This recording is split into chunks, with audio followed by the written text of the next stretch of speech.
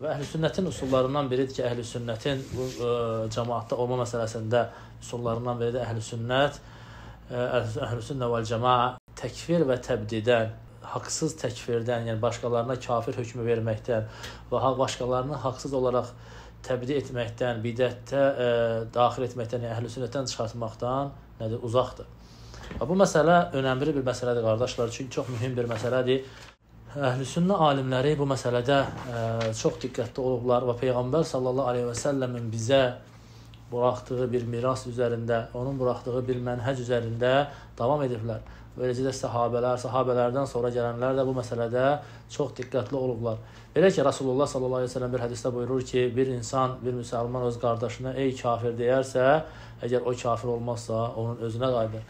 Rasulullah sallallahu əleyhi və səlləm bir insanın bir insana kafir hökmü verməsindən bu şəkildə şiddətli şəkildə e, çəkindirmişdi. Ona görə də Bu dərsdə mən qısaca olaraq, çox qısa olaraq istəyirəm ki, əhl-i sünnətin təkfir məsələlərində bəzi qaydalarını zikr edəm. Çünki bu məsələdə bəzi insanlar var, həqiqətən yolunu azıblar, haqqı, yəni haqdan sapıblar. Yəni kimlər ki, onlara buraxın küfrə düşməsini bir insanın, buraxın insanın şirkə düşməsini, mücərrəd onlara müxalif olub deyə onlara kafir hökmü verirlər onların havasına uyumurlar deyə onlara kafir hökmü verirlər. İnsanlar var ki, bugünkü günü nəinki küfrə görə, nəinki böyük günaha, xavariclər kimi böyük günaha görə, hətta kiçik günahlara görə təkfir edirlər. Hətta günah olmayan, lakin onlar günah zənn edirlər deyə ona görə təkfir edirlər insanları.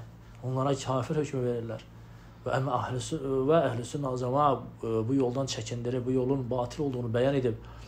Həmçinin bunun müqabilində murciyalar bu məsələdə çox səhlənkarlıq edirlər və deyirlər ki, bir insan la ilahe illallah Muhammedən Rasulullah dedisə, artıq nə küfür, nə nə söyləsə də, nə desə də o İslam dairəsindən çıxmır.